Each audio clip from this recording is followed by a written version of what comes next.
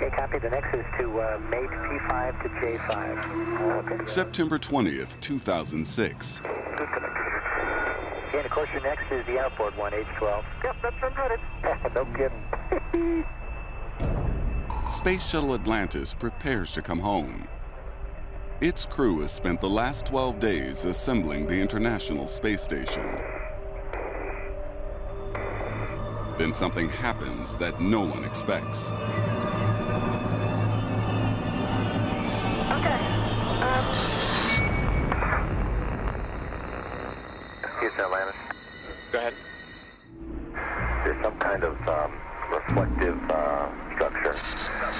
Mission Control asks Commander Brent Jett to describe what he sees. Uh, a structure that's uh, definitely not rigid or uh, it's not a, um, a, you know solid metal structure. Doesn't look like anything I've ever seen on the uh, outside of the shuttle. Uh, that's for sure. Mission Control take remote control of the payload bay camera.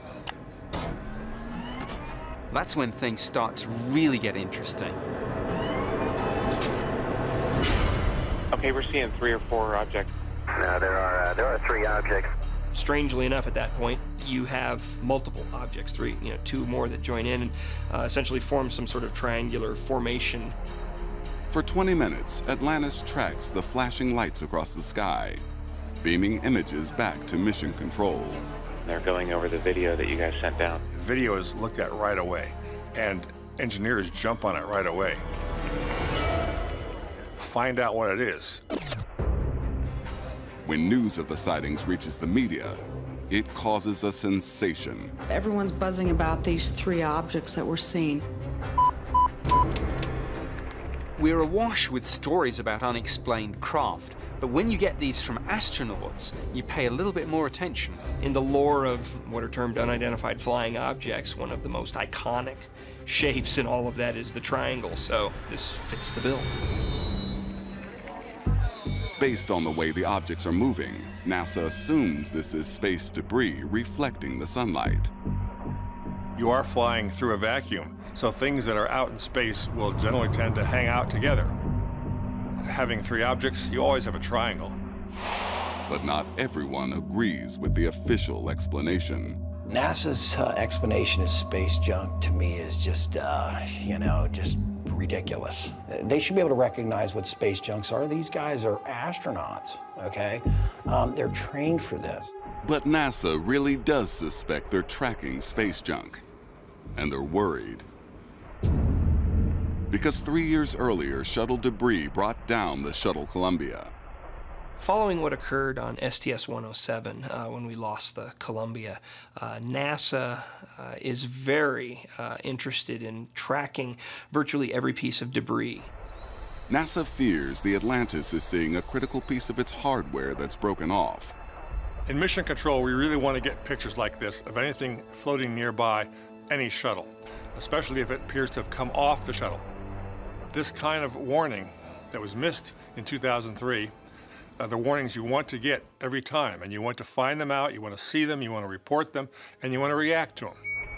Unsure what these unidentified objects are, NASA doesn't take any chances. They've decided that based on this object that we saw, that we're going to wave off tomorrow. So our next deorbit opportunity is going to be on flight day uh, 13. Atlantis, we copy. NASA delays the landing so they can check that Atlantis has not been compromised. This is Mission Control Houston from during this survey to confirm the integrity of Atlantis' heat shield. In this case, it looks like it's more likely to be an incidental object broken free accidentally from the shuttle. And I believe that's in the end the NASA decision. One day after first sighting the mysterious flashing lights, STS-115 is finally cleared to land. Uh, 15,400 miles an hour. Altitude 225 feet. When they later examine Atlantis, NASA confirms that it was hit by a micrometeorite. Touchdown. Welcome back. Congratulations on return to assembly. No one knows if this was related to the triangular formation spotted by the crew. But NASA's caution brings the shuttle safely home. Atlantis was a terrific ship. It was real critical that she perform well, and she did. Kitt Peak Observatory, Arizona. Astronomer Jim Scotti hears reports of an unusual looking comet streaking through space. He decides to take a look. I set up with my 1.8 meter telescope and take some images. And in fact, it does have sort of a weird look. The object is unlike any comet he's ever seen. It's got a long, narrow tail and a little funny business going on around the head of the comet. It's really hard to tell exactly what's going on, but something is interesting there. The fuzzy image appears to have a probe-like arm reaching out from the main structure. News of the bizarre object hurtling through our solar system prompts NASA to take a closer look. Using the most powerful tool in its arsenal, the Hubble Space Telescope. Images from its giant eight-foot mirror are sent directly to NASA scientists.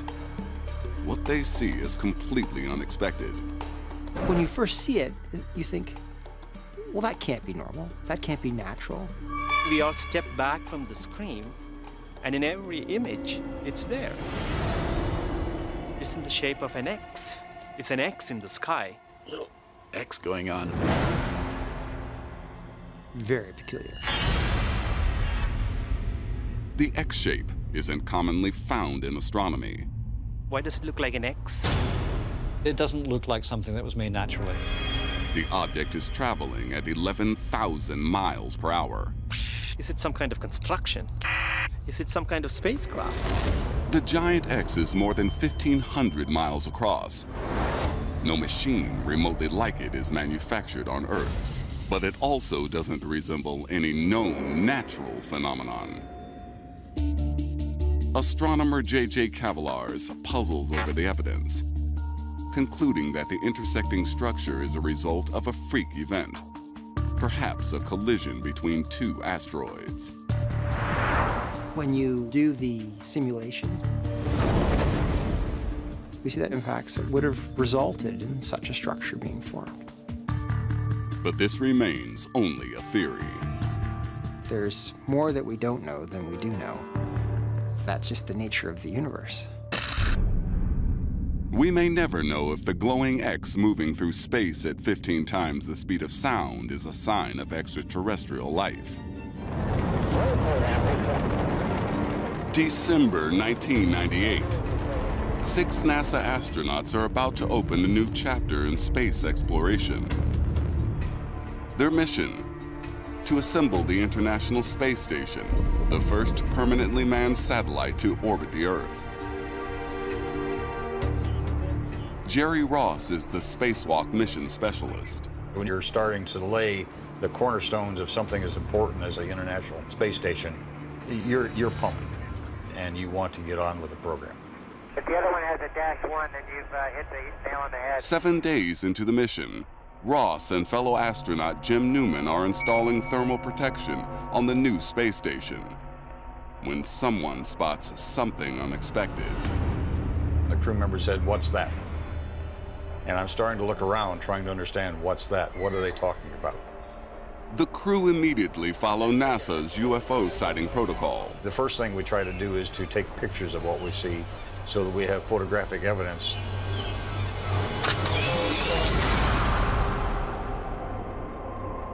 Back on Earth, the photographs create an instant sensation in the UFO community. They see a link to a mysterious object from the 1950s, known as the Black Knight. Some people thought it was extraterrestrial in origin, others that it came from closer to home. The Black Knight goes back to the early years of the space age, and even before. People begin to watch the skies looking for satellites, secret ones. These so-called dark satellites were unexplained blips that mysteriously appeared on radar. And sometimes ominous black shapes were spotted hovering in the sky. At the time, the Russians accused the U.S. of space espionage, while the U.S. suspected the same. The Black Knight is just one of many things that we don't have explanations for. Certainly, uh, people don't understand that uh, just because it's ours doesn't mean we tell everybody about it. Sure, I'll guarantee you. But Jerry Ross doesn't buy the dark satellite theory. He believes there's a simpler explanation. Jim was supposed to put a thermal blanket on the outside of the station to protect it from heat losses. Work our way up. Uh, I was ahead on my task, so Jim offered to give me the thermal blanket and let me attach it. When somebody said, What's that floating away? I looked and I saw this blanket. I looked at the tether where it was supposed to be, and it wasn't there. Jerry, uh, the thermal covers got away from you? How did it do that? I don't believe this. In this case, it's a story of, a, of an oops. Dropping a piece of equipment. It wasn't alien. It was, it was, it was a mistake. It was a really bad feeling. The blanket looks black because its reflective surface is facing away from the Earth, out towards the darkness of space. But not every sighting of the Black Knight can be so easily explained. There were reports in the 50s of strange things in orbit around the Earth. We don't know what they were. They weren't ours as far as we know. We don't think they were Russians either. What does that leave? Who knows? Bill Yeung is an Arizona based astronomer who's taken it as his mission to watch out for near Earth objects that could pose a danger to us. In September 2002, Yeung spots a bright object in orbit around the Earth, which sets off alarms. This object became very apparent as something unusual, primarily because of its motion. it was moving very fast and moving in a velocity that's very much like the velocity of the Earth. The mysterious object is more than 60 feet across and orbiting close to the Earth. Yeung immediately reports the sighting to the authorities. The first thought is this is an asteroid. NASA takes the threat of an asteroid impact very seriously. Asteroids are kind of important because they might occasionally beat the heck out of the surface of the planet. Asteroids are traveling at about 30 miles per second. That's an incredible velocity. And when you have an object that has mass, that's a lot of kinetic energy. It's probably what did in the dinosaurs.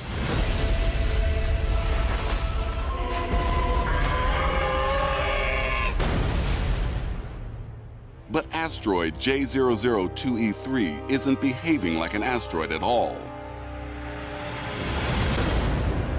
Most asteroids trace a regular orbit around the Sun within the belt between Mars and Jupiter. But this mysterious object doesn't do that. This thing goes around the Earth, then it shoots off, it goes several times around the Sun, it comes back. Concerned, NASA's Jet Propulsion Laboratory joins other scientists in the investigation. They direct the infrared telescope in Hawaii towards the object for a closer look. This is the most odd thing we've ever seen. And we pulled up the spectrum, and it was full of paint. The exotic anomaly has a coating with the same chemical signature as industrial paint. This object was no natural asteroid. It was unlike anything we'd ever seen before. It's paint. This can't be an asteroid. Raising an alarming possibility. When you think about it, we use spy satellites, and here's this object orbiting the Earth. Why wouldn't an alien culture use spy satellites? NASA's Jim Oberg doesn't buy that theory. He supports further investigation of the paint evidence. Detailed analysis of the data reveals the entire surface of this 60-foot object is covered in titanium dioxide, a compound that makes paint white the color of NASA hardware. But if this is a part of a rocket, it's in a very strange place. The question is, how did it get there? NASA connects the dots and comes up with a plausible explanation. Based on the orbit and based on the fact this object is covered in paint, we're able to calculate backward and determine that this object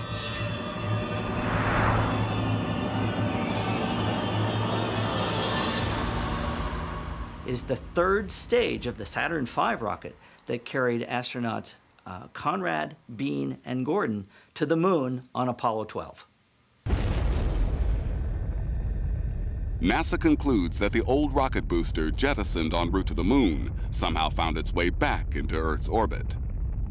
They just float away, but you don't worry about it. NASA closes the case. But for some, the theory seems too convenient. July 17, 1962. At the height of the Cold War, both superpowers fight for technological supremacy over air and space.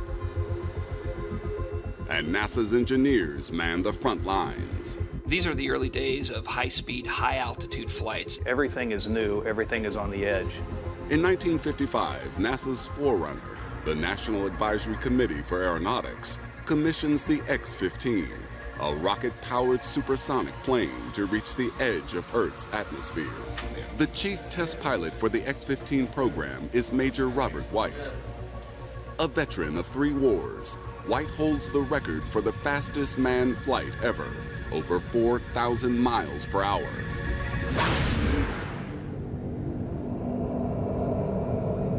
Major White and the other X-15 pilots were flying faster and higher than anyone had ever flown before.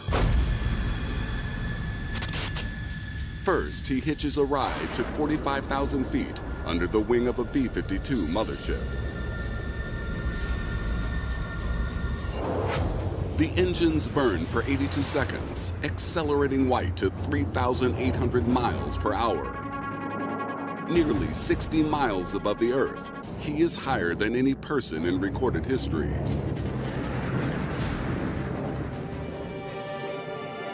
He was flying uh, very high, very fast. Suddenly there's something out there. White radios to ground control that he sees multiple unidentified objects. There are things out there. There absolutely is. One particularly stands out.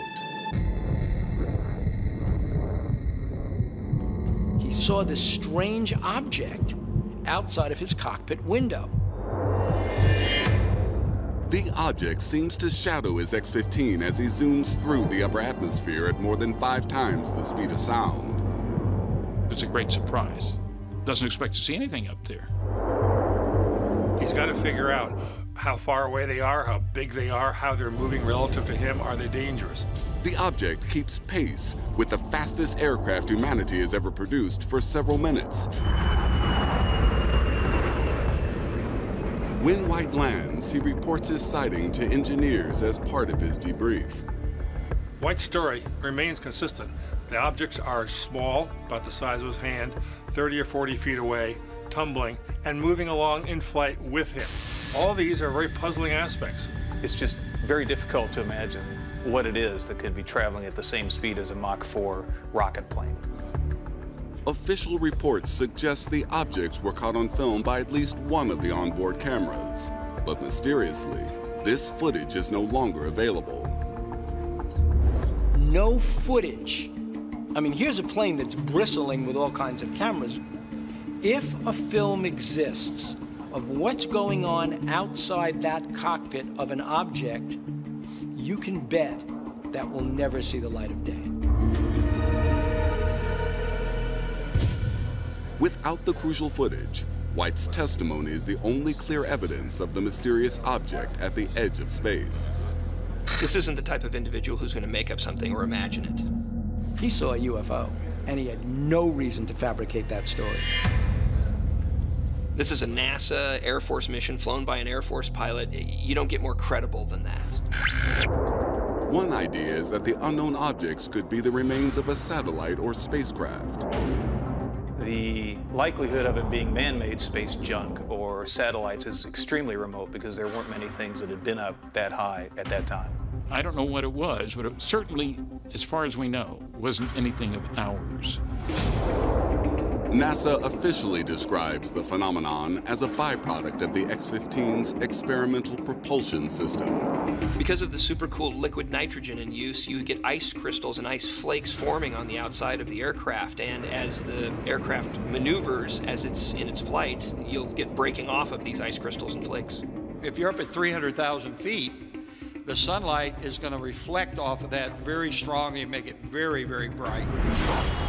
At lower altitudes, traveling at such high speeds, friction with the air would generate intense heat, melting ice crystals as soon as they form. When you think of a rocket plane going thousands of miles an hour, you think of friction, but it was also in a vacuum, and there was precious little air around it. There's very little resistance, there's very little friction on the outside of the spacecraft, so these ice crystals are going to float along with the aircraft. White remained uncertain about what he saw on the flight.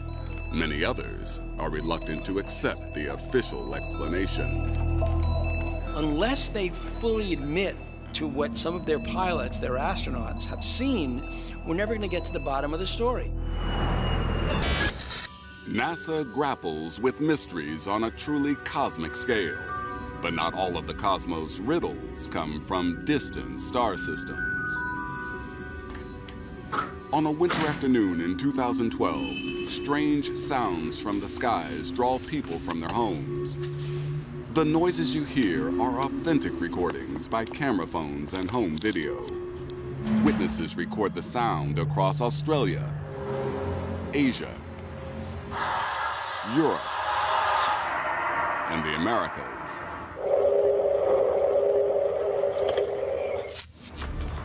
Analysis of meteorological data rules out any known weather phenomena capable of causing this kind of sound. Scientists desperate for a natural explanation discover that the phenomenon seems to coincide with the aurora borealis. The northern lights usually erupt as a response to intense cosmic radiation bombardment. NASA launches a fleet of five probes called Themis to investigate the aurora. The probes discover that violent solar bombardments can snap the invisible lines of Earth's protective magnetic field. And the severed lines slingshot powerful bursts of cosmic energy toward Earth. Mission scientist Vasilis Angelopoulos calls this phenomenon a spacequake. And incredibly, a spacequake produces sound, even in the vacuum of space. These spacequakes create waves in the audible frequency but they are electromagnetic. Space is full of uh, pulsations that if you were to play as sound waves you would hear, it's almost like it is alive. But despite the similarity, a human being would have to leave our planet to hear the noise of a spacequake. Waves from out in space penetrate through the Earth's atmosphere only with their magnetic component. The sound portion of them doesn't make it through. Sound waves refract before they manage to come down to the lower altitudes of the atmosphere. So far, NASA's spacequake investigation is unable to provide any natural explanation for the sonic phenomenon in the world skies. Research is ongoing.